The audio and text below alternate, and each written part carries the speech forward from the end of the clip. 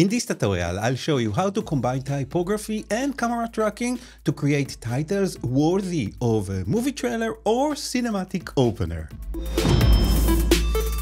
So, I spent a few hours wrestling with 3D typography and camera tracking in After Effects to create this short teaser that literally no one asked for. Along the way, I uncovered a few simple techniques that not only solved the issues I ran into, but also elevated the design. For time's sake, instead of a step-by-step -step walkthrough, I'll break down my process, showing you what worked and what didn't, and how I managed to solve it. If you're new here, hi, I'm Eran Stern, a motion designer educator, and this channel is all about After Effects and its glorious ecosystem. Okay, let's dive in. So it all started up with a drone clip I found on pexels.com of a man in a hoodie standing on a rooftop. Credit goes to cottonbro Studio, and the link is in the description if you want to check it out.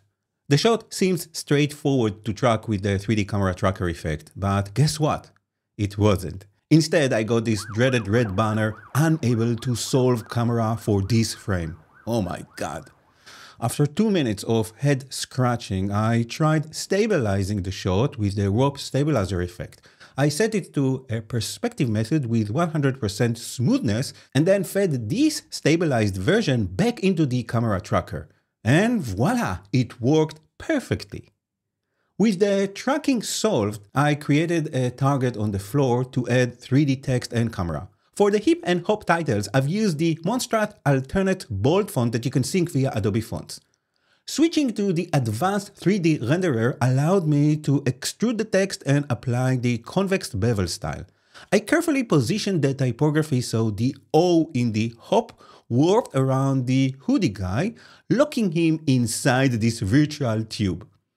To add some interest, I animated the I in the hip to intersect with the O, but the uppercase I looked like a T thanks to its slab serif design. So I swapped it with the pipe symbol.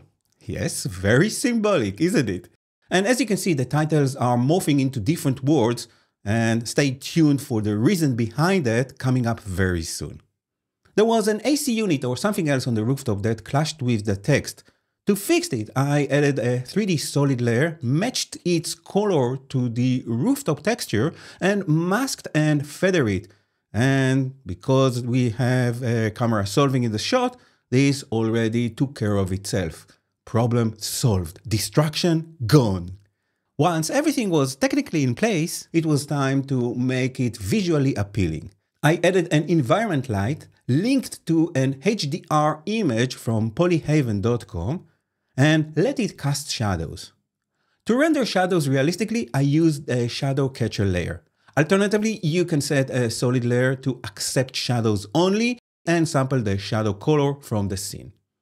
It still felt a bit too nice, and nice wasn't cutting it for me.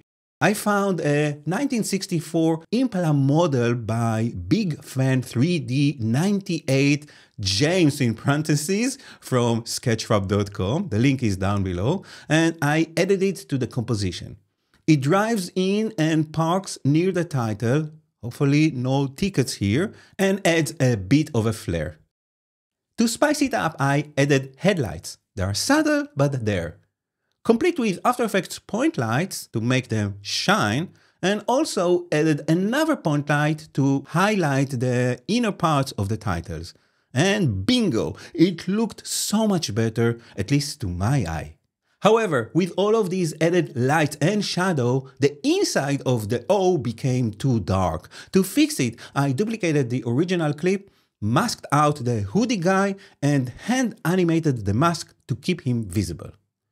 For sound, I added an Urban audio bed and a few effects.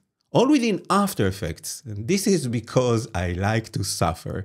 The audio bed ended too soon, so I looped the last bit using the delay effect and faded out with the stereo mixer. Yes, this is the proper way to fade out sound in After Effects. If you want to learn more about audio in After Effects, click on the card that you see here or check the link in the description.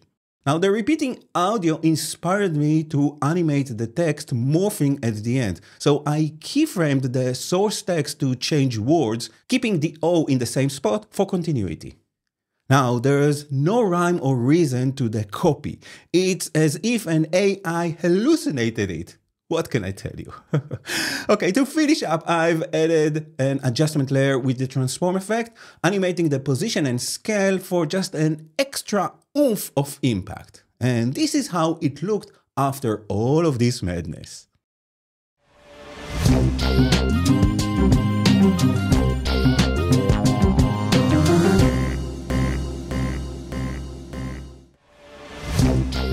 After posting the teaser on Instagram, someone suggested faster camera motion for more energy, which is a great feedback, so thank you, you know who you are. I imported the rendered piece and placed it in a shorter comp and time remapped the camera to be a bit more faster. Then I added the pixel motion blur effect to exaggerate the motion blur and rearranged the audio to match. And that's how it turned out.